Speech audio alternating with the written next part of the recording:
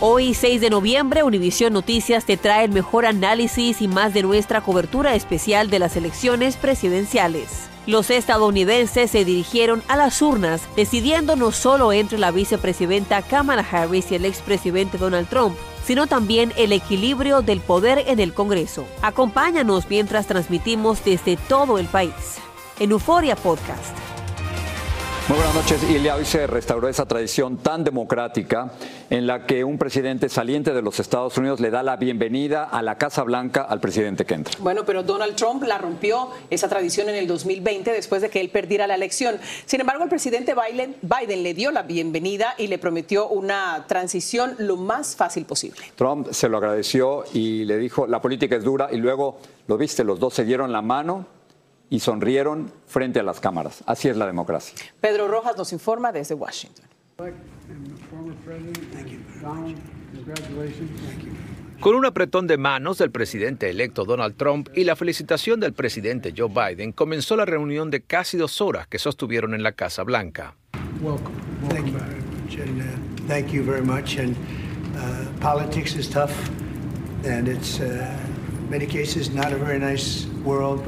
It is a nice world today, and I appreciate very much it.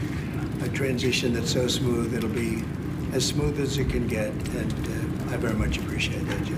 You're welcome. Los líderes estuvieron solamente acompañados por sus jefes de gabinete en la oficina oval. Biden, según la vocera, insistió a Trump en la importancia de defender a Ucrania, mantener una Europa unida y también vigilar la creciente influencia mundial de China.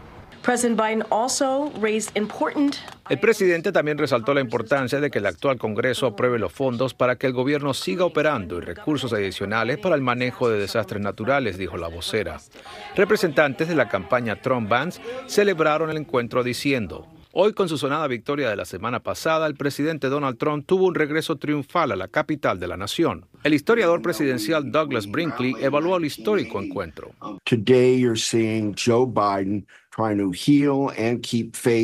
Hoy hemos visto a un Joe Biden tratando de sanar y mantener su fe en la democracia, demostrando que en este país podemos transferir pacíficamente el poder, expresó. Durante su estancia en Washington, Trump dijo a congresistas republicanos, Sospecho que no volveré a presentarme en campaña, a menos que hagan algo, a menos que digan, es tan bueno que tenemos que arreglarnos. La Casa Blanca reveló que Trump fue inicialmente recibido por el presidente Biden y la primera dama Jill Biden, quien le entregó una carta para la próxima primera dama Melania Trump, quien no vino al encuentro y se especula que no lo hizo en rechazo al operativo que condujo el FBI en Mar-a-Lago, en Florida, en agosto de 2022, el cual fue ordenado por el Departamento de Justicia bajo el mando de Biden. Voceros del equipo de transición de gobierno celebran este encuentro y aseguran que forma parte del retorno político del presidente electo Trump a la capital de la nación. En Washington, Pedro Rojas, Univisión. El presidente electo nominó al senador de la Florida, Marco Rubio, como secretario de Estado y le encargará la dirección de inteligencia nacional a la ex representante independiente Tulsi Gabbard. Pero el nombramiento más polémico es el del representante de la Florida, Matt Gates, como fiscal general de los Estados Unidos. Lourdes del Río nos dice por qué. El representante republicano por la Florida, Matt Gates, es el elegido por el presidente electo Donald Trump para desempeñarse como fiscal general. Matt es un abogado profundamente talentoso y tenaz que se ha destacado en el Congreso por su enfoque en lograr reformas desesperadamente necesarias en el Departamento de Justicia, comentó antes de anunciar el nombramiento. Trump estaba buscando a alguien que pudiera hacer varias cosas a la vez. Primero, lo, más importante es ser leal a Trump y asegurarse de que todo posible caso en contra de Trump quede eliminado. Y eso logró ese compromiso de Gates, eso no hay duda. Será un honor servir como fiscal general del presidente Trump, fue la reacción de Gates a través de la plataforma X. Este nombramiento resulta polémico por varias razones, entre otras cosas porque el congresista sigue bajo investigación del Comité de Ética de la Cámara por conducta sexual inapropiada y el Comité Bipartidista declaró en un inusual comunicado en junio que algunas de las acusaciones contra Gates merecen continuar revisándose. El anuncio de Trump se dio mientras los republicanos de la Cámara se reunían a puerta cerrada para llevar a cabo sus elecciones de liderazgo. Reaction to Matt Gates as AG. Yeah, I don't know yet. I think about that. I mean, do you have any concerns about it? ¿Qué es lo que sabemos? Sabemos que, que es una figura controversial aún dentro del Partido Republicano porque fue el arquitecto de desbancar a Kevin McCarthy, que era el speaker de la Cámara. y es una figura que, como dices, ha estado en controversias eh, extrañas, que desde agresión física hasta insultos eh, contra personas que no están con él, aún de su propio partido. De hecho, en enero del 2023, las cámaras captaron el momento en que precisamente por la controversia de McCarthy, Gates y el representante Mike Rogers de Alabama casi se van a las manos. El recién nombrado secretario de Estado, el senador Marco Rubio, también opinó sobre el nombramiento. Me gusta mucho Matt, lo conozco muy bien y estoy confiado de que si el Senado lo confirma, hará un buen trabajo. Fue Lourdes del Río reportando. Continuamos. Los republicanos del Senado escogieron a su nuevo líder, John Thune de Dakota del Sur. Presidirá el Senado ocupando el cargo que desempeñó Mitch McConnell durante 17 años. Ya se confirmó que los republicanos también obtuvieron la mayoría en la Cámara de Representantes, lo que significa, como reporta Claudio que tendrán un control completo del gobierno. Los republicanos del Senado rechazaron una campaña de presión de aliados de Donald Trump y escogieron al senador John Thune para ser su nuevo líder. Este equipo republicano está unido, afirmó luego del voto. Indicó que promulgará la agenda del presidente electo Trump. Thune es respetado por sus colegas y ha sido crítico de Trump, aunque en los últimos meses ha tratado de reparar su relación con él. Ambos hablaron por teléfono y luego el presidente electo lo felicitó. Se mueve con rapidez y hará un trabajo excepcional, escribió. Antes que se confirmara que los republicanos lograron el control de ambas cámaras, Trump se reunió con los republicanos de la Cámara Baja en un hotel. Ellos también escogían secretamente a su líder. Mike Johnson no enfrentó oposición. Trump lo apoyó públicamente y habló de su victoria. Ganamos en todos los sentidos, recalcó. Adentro dicen que se vivió un ambiente positivo, un ambiente unido. tenemos mucho trabajo que hacer. Sobre Trump dijeron... El, tono era mucho más calmado. Eh, eh, eh, estaba bastante cómico. Trump habló de su agenda y que se llevará a cabo la mayor operación de deportación en la historia del país. El presidente habló de todo lo que el pueblo americano quiere, que haya una mejor economía y también habló de inmigración. Inmigración es un tema muy delicado, pero habló de deportaciones, deportaciones a los criminales. Con el control republicano en ambas cámaras se facilitará la confirmación del gabinete de Trump. Se quiere avanzar tan rápido que Mike Johnson planea viajar este fin de semana a Mar-a-Lago. En Washington, Claudio Seda, Univision. También genera cuestionamientos la nominación de Elon Musk, el hombre más rico del mundo, para dirigir el nuevo Departamento de Eficiencia Gubernamental. Algunos ven un conflicto de interés debido a que la empresa SpaceX de Musk tiene decenas de contratos con agencias federales, agencias que él controlaría junto a Vivek Ramaswamy, ex candidato presidencial republicano. Luis Mejid nos explica. Trump quiere que el hombre más rico del mundo le ahorre dinero al gobierno. El presidente electo nombró a Elon Musk como líder de la Comisión de Eficiencia. Eso quiere decir que el creador de Tesla, el dueño de SpaceX y de Twitter, ahora llamado X, se encargará de reducir gastos del gobierno que considere excesivos o innecesarios. Musk ha dicho que de los casi 7 millones de millones del presupuesto fiscal quiere reducir al menos dos. Durante la campaña le propuso la idea a Donald Trump. I think it would be great to just have a government efficiency commission that takes a look at, uh, at, at, these things and and just ensures that the taxpayer money, the, the taxpayers' hard-earned money, is spent in a good way. Um, and and, and I'd, I'd be happy to help out on such a commission I'd love if, it. if it were formed. Elon Musk no estará solo. La Comisión de Eficiencia estará coliderada por Vivek Ramaswamy, ex empresario y ex candidato presidencial que tanto como Musk se ha venido quejando de exceso de regulaciones en las agencias de gobierno. Algunos analistas advierten sobre posibles conflictos de interés. ¿Hasta qué punto se puede ser juez y parte hacia buscar cambios regulatorios que les beneficien a, sus, a sus empresas. Sus negocios dan una idea de lo que Elon Musk entiende por eficiencia. Poco después de comprar Twitter, Musk despidió a 3.700 empleados, la mitad de sus trabajadores, y mudó sus oficinas centrales de este edificio aquí en San Francisco a un pequeño pueblo cerca de Austin, Texas. Por supuesto, el gobierno no es una de sus empresas. La comisión solamente podrá hacer recomendaciones y cualquier reducción tendrá que ser aprobada por el Congreso. En San Francisco, Luis Mejide, Univisión. Estás escuchando el podcast del noticiero Univisión. Vamos a hablar de economía. La inflación subió ligeramente en octubre a 2.6%. Este fue el primer incremento en la tasa anual de inflación desde marzo. Parte del problema fue el alto costo de las viviendas. Por cierto, los estadounidenses están endeudando cada vez más y el monto total de lo que deben subió a casi 18 millones de millones de dólares. Esto a pesar de que también aumentaron los ingresos hasta sobrepasar los 21 millones de millones. Las deudas eh, principales están en las tarjetas de crédito y en los préstamos para comprar automóviles. En California el incendio Mountain sigue ardiendo en el condado de Ventura y aunque ya está contenido en un 60%, miles de personas siguen bajo advertencia. Las llamas han quemado más de 20 mil acres de terreno, más de 200 estructuras y las pérdidas agrícolas se calculan en 6 millones de dólares. Muy bien. Mientras tanto, en la costa este, otro incendio está ardiendo entre Nueva York y Nueva Jersey. Se trata del Jennings Creek, que ha quemado más de 3.500 acres, el equivalente a cuatro veces el tamaño del Parque Central.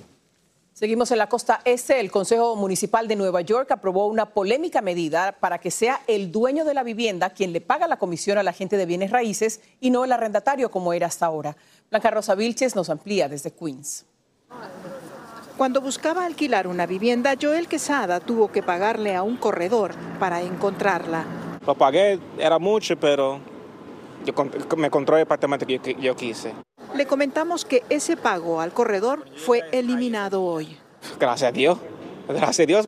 La tarifa de corredor es un pago único que suele estar entre el 10 y el 15% del monto anual del alquiler.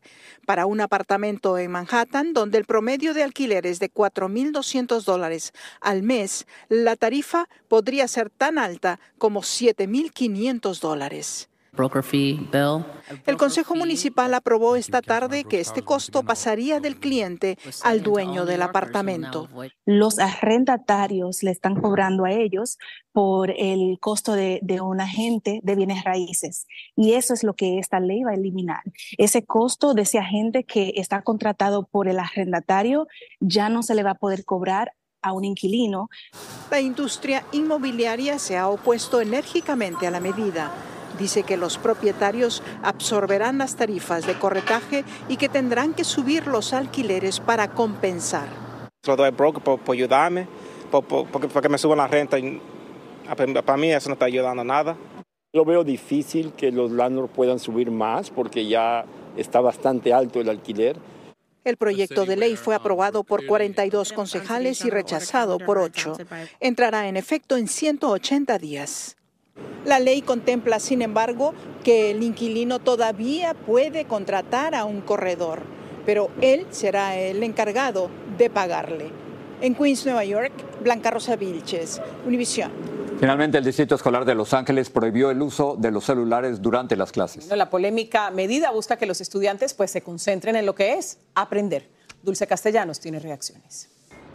Durante todo el día escolar estará prohibido el uso de los teléfonos celulares en el Distrito Escolar de Los Ángeles bajo la nueva política que busca aumentar el enfoque en el aprendizaje y minimizar los impactos de las redes sociales en la salud mental. Los dispositivos deberán apagarse y guardarse en las mochilas u otro almacén dentro de las aulas, incluyendo relojes y gafas inteligentes y auriculares. Pues yo opino que está bien porque pues los niños se enfocan un poquito más en estudiar que en estar vea, ah, viendo ah, otras cosas que Ah, tal vez no tiene nada que ver con el estudio. El estado de California requiere que los distritos escolares adopten políticas de prohibición para julio del 2026. En Los Ángeles, la medida entrará en vigor en febrero 2025, pero no todos los padres están de acuerdo. Es necesario que carguen el celular por cualquier emergencia han pasado cosas que pues da mucho susto, ¿verdad? Especialmente en estas comunidades y prefiero que tengan su celular. La política indica que los estudiantes deben tener acceso a los celulares en caso de una emergencia, pero sería hasta que el personal escolar determine que es seguro hacerlo. Los alumnos podrán utilizar sus teléfonos en los planteles escolares antes y después de clases y habrá algunas excepciones para ciertos estudiantes. Algunos niños tienen necesidades médicas de salud y necesitan mantener un contacto directo y constante con sus padres familia.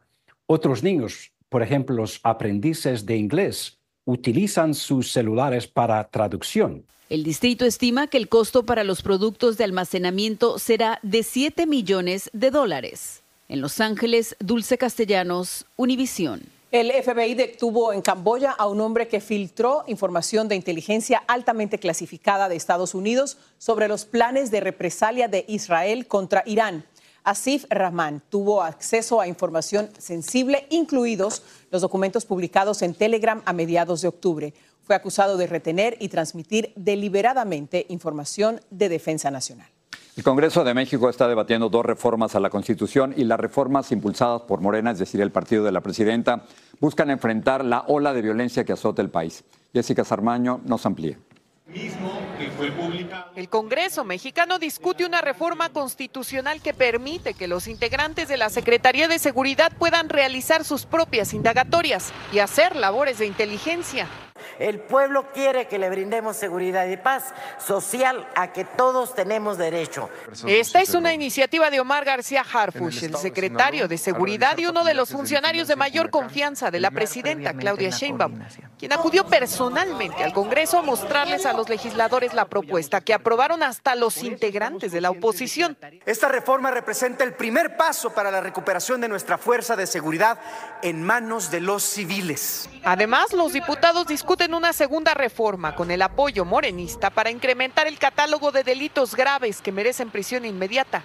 La reforma incluye la prisión preventiva en automático para quienes sean acusados de extorsión, narcomenudeo, la producción, el manejo y la importación y exportación de drogas sintéticas como el fentanilo, así como la defraudación fiscal. No quiere decir que el juez, sin pruebas, lleva a alguien a prisión. La discusión de estas reformas ocurre después de que Estados Unidos y Canadá refrendaran las alertas para que sus ciudadanos no viajen a todo Sinaloa, ni siquiera al puerto de Mazatlán.